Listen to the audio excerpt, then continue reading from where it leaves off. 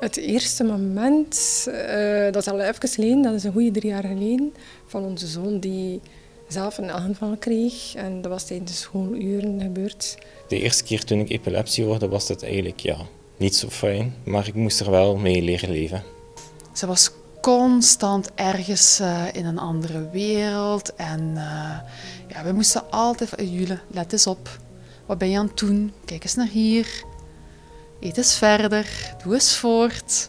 Dat was eigenlijk, dat was eigenlijk het voornaamste op een dag.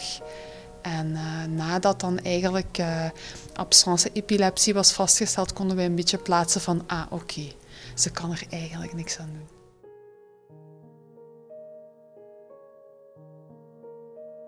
In het dagelijkse leven dan hebben we wel schrik, omdat we niet weten wanneer dat de aanvallen zijn. Ons heel leven is omgebouwd naar zijn ziekte toe.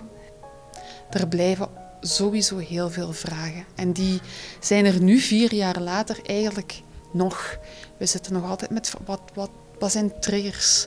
Hoe komt het? Ah, continu zorgen, dat is met ups en downs. De ene moment is dat de hele periode oké en, en vergeet je dat een beetje, alhoewel dat je toch absences doet, maar je ziet dat niet of niet altijd.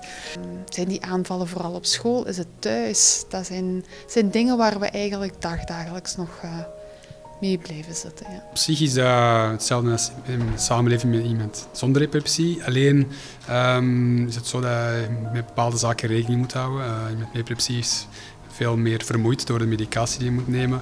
Het willen helpen van uw kind. Uh, ik heb mijn job opgegeven om haar, uh, om haar eigenlijk na school te kunnen helpen.